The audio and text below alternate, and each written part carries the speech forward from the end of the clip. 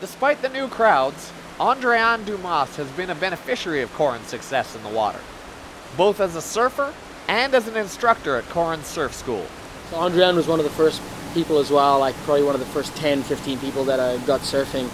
She learned really fast. I mean, she's been surfing for three years now. It's my fourth year. It's her fourth year? Four years? I wish I could surf like that after four years. Jeez, I was still a complete tool after four years of surfing. But it, it was not very easy at the beginning because I was a little bit scared and uh, not not in shape. Her first ride, her very, very first ride, she catches a wave, surfs it for about five or six minutes, got up on your knees, Yeah. surfed it, then surfed it drop foot, Yeah. and then stood up. Not for very long, but stood up for 10, 15 seconds before wiping out. First ride. Second ride, surfed it standing for a minute or so, and just uphill from there. Like, eventually made her a board. I was like, okay, this board's going to be a little bit aggressive for you, but you'll figure it out, and you know, you'll you'll grow into it, and grow into it. Took her all three days to grow into it. A week later, she's like, yeah, it's a little big. You got anything smaller? Because of the teacher. Corran Addison seems to have had success with many of his students.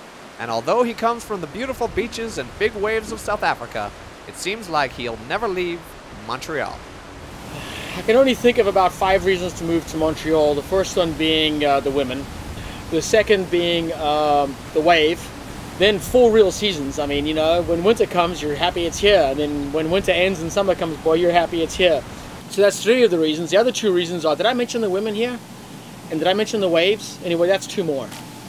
I can live anywhere I want. I can open a surf shop anywhere I want. You don't see me moving. I'm not living in Indo. I'm not living in California. Can't beat this.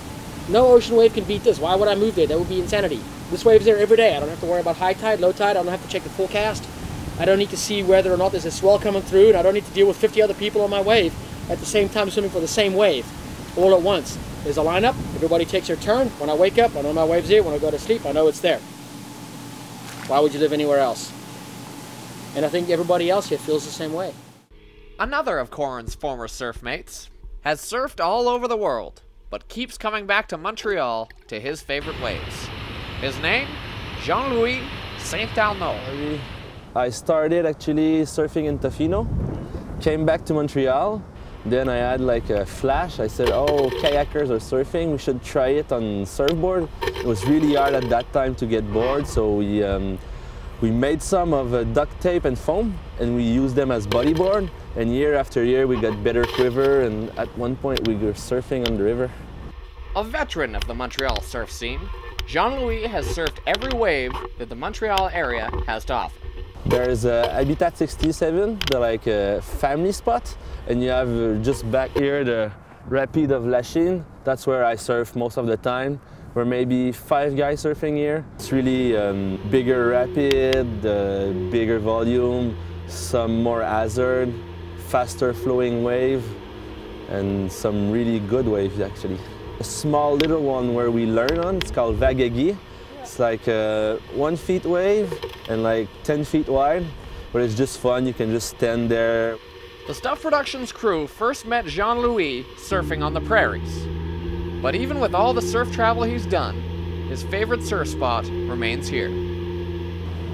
Where's your favorite spot to surf in Canada?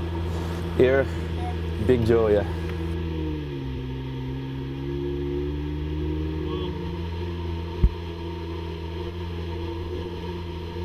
The Montreal river surf scene was an impressive one to see. But they're not the only ones surfing in rivers across Canada.